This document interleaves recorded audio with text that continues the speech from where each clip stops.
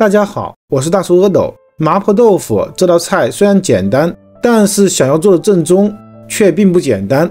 正宗的麻婆豆腐，牢记三放两不放：第一，一定不能放生姜，姜味太过浓郁，会掩盖住其他食材的香味；第二，一定不能放猪肉末，肉末要放牛肉末，这样才会突出酥的特点。首先准备一百克的牛肉，家里条件好的可以多加五十克。先改刀切成小块，切的时候沿着筋膜的位置下刀，然后去除大一点的筋膜，剩下小一点的筋膜可以不用处理，再用随缘刀法剁成肉末。剁的时候剩下的一点筋膜也会被轻松斩断。剁到什么程度算好了呢？大约绿豆大小就可以了，不要剁得太细，要能吃出肉的颗粒感。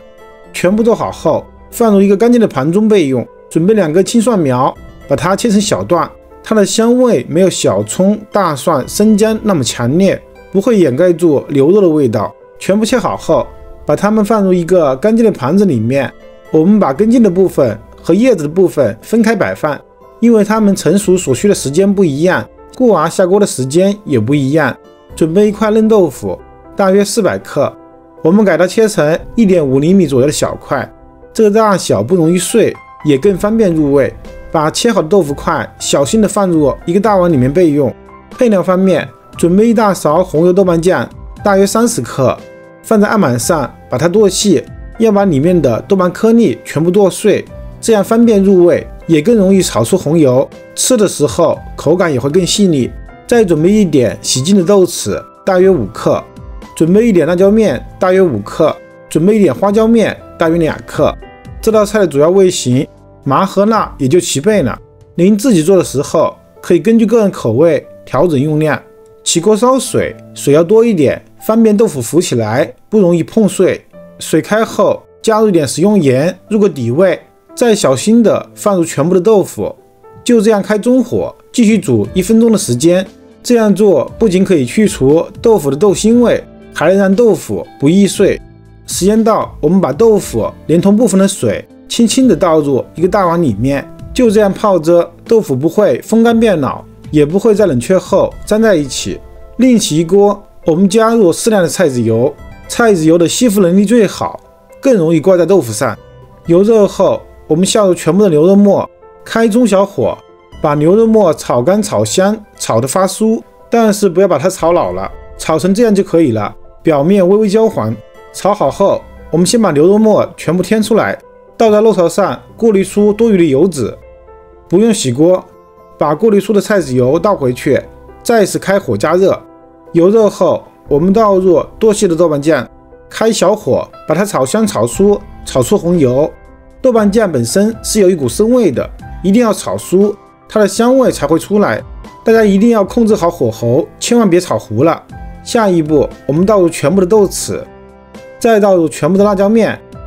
还是把它们炒香，炒出红色。等它们散发出浓郁的香味，并且和油混合在一起，我们就可以加入适量的高汤。有条件的加牛大骨汤，没有的加清水。再用漏勺把豆腐沥去水分，然后全部倒进来。汤汁要刚刚没过豆腐才是最佳的状态。这个时候就可以调味了，加入一勺特级生抽，加入一勺料酒，再根据个人喜好加入一点鸡精或者味精。然后我们开中小火，慢慢的煮。为了方便豆腐均匀的入味，我们要用勺子背，轻轻的推动豆腐，或者小幅度的晃动锅，让它受热均匀，避免糊底。就这样咕嘟咕嘟的煮三分钟后，我们就可以加入炒好的牛肉末了。顺便把青蒜苗的根茎部分加进来，先把它煮出香味，再加入一点点的胡椒粉，增加香味的层次感。这时就可以开大火收汁了。收汁的同时还要勾芡。重点来了，麻婆豆腐如何勾芡？我们要分三次勾芡，因为豆腐很容易出水，只有三次芡汁才能包裹住豆腐。勾芡我们要旋转的淋入水淀粉，这样才会更均匀。芡汁下锅后就会立刻糊化，影响的区域有限。我们要轻轻的推动一下豆腐，让芡汁更均匀。接着是第二次勾芡，还是旋转的淋入，然后再推动均匀，再把蒜苗的叶子放进来。就可以进行第三次勾芡了。经过三次的勾芡后，芡汁就非常的浓了，可以完全的包裹住豆腐。我们就可以起锅装盘。在酒店，为了突出麻婆豆腐烫的特点，会使用加热的小砂锅做容器，上桌后还会咕嘟咕嘟的冒热气。